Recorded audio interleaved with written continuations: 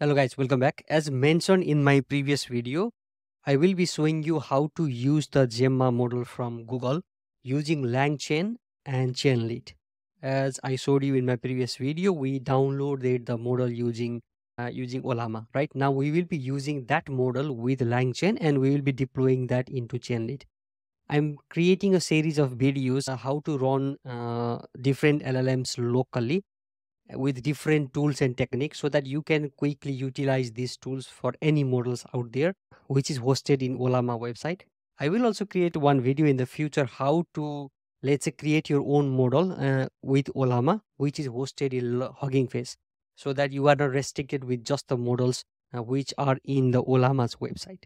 But for now, uh, let's just go and create a simple chat GPT like chat GPT style like UI with a Chainlit, which uses Gemma model from Ollama and using LangChain. And our traces will be logged into LangSmith.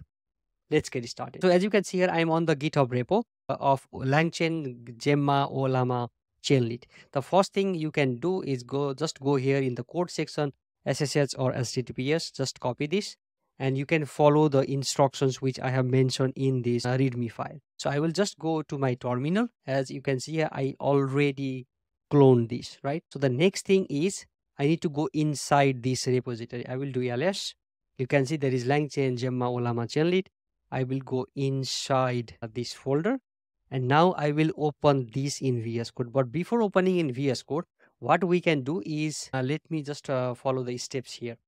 So we need to create a virtual environment, right? What you can do is just copy the thing that I have mentioned here uh, to create a virtual environment. So I can do Python 3 and it creates a virtual environment.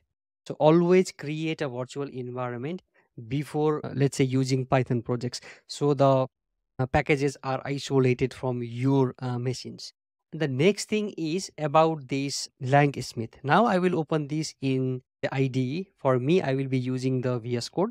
So I will open this in VS Code. So it's easier for me to explain uh, you. Uh, this is the VS Code. So the next step, now we can open this uh, README file here already in VS Code, right? Uh, the next step is we need, this is by the way optional, if you want to trace it into Lang, uh, LangSmith or not. I'm not going to go through uh, LangSmith in this video because I have already created a videos for Lang Smith for beginners. So you can just follow there. Uh, I have explained in depth in that video, but I'm going to go to the LangSmith uh, website here. And now it says that I need to log in, right? I will go with continue with Google. And now I'm inside LangSmith. I will go and create a project. Here I will just give the example, let's say Gemma, and then I will say Ollama, chain lead. Just like that. And I will say submit and in the setup you can go and take all the things for me i have already provided other things but i will just get this uh, project. I will go to the vs code. Uh, where is the vs code here? And i need to first rename this right? I will go here and rename but you can already do from the terminal also. As it is mentioned here copy example.env to .env and then you can replace that. But i'm just going to rename this to just uh, .env and if I go inside you can see there is already the default ones in your projects we'll just replace that. And again I will go to the LangSmith website and in API keys I'm going to create a new API key. I will copy this. Now again I will go to VS Code just paste in this place here with the key. I'm showing you the key because I'm going to delete this after this. So I will say control yes is save the good part of Chainlit is, as I have mentioned many times, is once you have .env in the root folder here, all the environment variables will be taken automatically by, uh, let's say, Chainlit. And the next thing is uh, pip install dash r requirements.txt, but I already did, uh, I think that. Uh, did I did that in the terminal? Uh, no, I created the virtual environment. So yeah, now I can install the requirements, right? and all the things is mentioned let's say in the requirement.txt the two things langchain and chainlit so i will do pip install requirements.txt so yeah all the uh, packages well all the packages it's just the langchain and chainlit but it is using let's say other dependencies also. As you can see here there are many other packages which are installed when we install those two libraries or packages. And the next thing is uh, if you go here we can just run the python file. But before that we need to go inside the file. So what is here? I have just taken the same uh, let's say the uh, python file which i have shown you in the previous video also how to use other uh, open source llms so the main idea of showing you this is that you can use the same file and if you know one concept of using things you can replicate the same thing again and again right? The main thing here is we need to have Ollama and we can just provide different models inside this Ollama and we are importing the Ollama from langchain community.llms.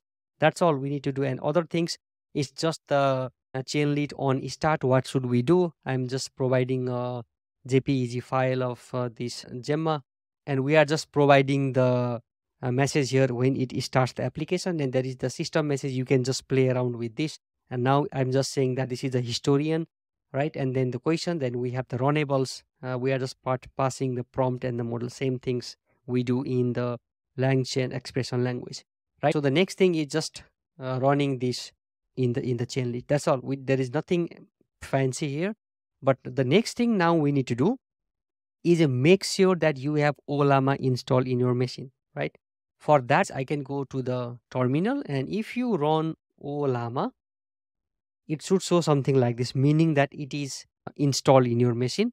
And if you want to see what what are the let's say the models installed yeah just you can just do list and we have this gemma 2b you can also use gemma 7b if you want but i'm just going small model here and the next thing you need to make sure if it is running or not installing and running are two different things right this shows that it is installed if it is running or not you can just check with this port. So 11434 is where the Ollama is running. So if you run this and it shows that Ollama is running, then we can use this for LangChain, let's say in that way. So now what we can do is we can just run the Python file. So what I'm going to do is run chainlit, right?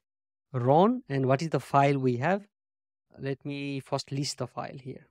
So I will do ls, okay, langchain gemma Ollama, right? So I will run chainlit langchain gemma ollama dot py so yeah it says here okay langchain gemma ollama dot py no such command okay there is no run so chainlit run langchain gemma dot py as you can see it says loaded dot env file. It's already loaded. And yeah hello there i am gemma. How can i help you? And the good looking logo is here.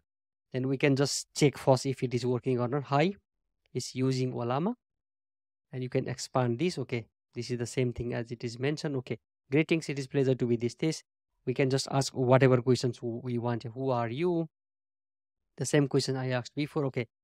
And the good thing is that as you can see here it, the answer is quite fast also and you can just ask here okay can you solve this math equation? X plus 3x equals to 1 what is the value of x? Something like this. So yeah it is showing in the dollar sign but yeah it gets the answer that okay x plus 3x 4x equals to 1 and it is getting the answer. But as you can see here all the different things are, are shown here this is some strange things that always appears so yeah now you can just uh, play around with this uh, whatever you want to ask and now I will show you the traces in Langsmith. That is really good because now I go here in the Langsmith. I will go to the projects and this is the Gemma Ollama chainlit. And as you can see here, all the calls that I made into that particular model from Ollama is being registered here. And now you can just explore here in the Langsmith website to see, uh, okay, what is the uh, latency. And just here also you can see okay what is the tokens being used what is the cost. Okay it's free so there is no cost. How much it took for the first token milliseconds. And then metadata reference and so on. And also on the right side there is the details which it is shown here right? And the good thing is if you click on top of this it will open in the new ui let's say uh, here. And you can just click inside this and you will see okay prompt and completion. And you can just go here what is the question? What is the output? And you can then go and add to a data set and do lots of things in Langsmith. For more detailed explanation, please watch this langsmith for beginners video that I created three days before. So yeah, that's all I want to show you in this video. Now I hope you know uh, how to create a simple, let's say UI using Chainlit and using the Ollama and the models which is downloaded by Ollama. And yeah, that's all for this video. In the next video, what I'm trying to do is, uh, let's say, uh, how can you use models from Hugging Face and make your own model uh, using Olama and use that with the same approach that we went through in this video. If you have any questions, please feel free to ask in the comment section. Other than that, thank you for watching and see you in the next video.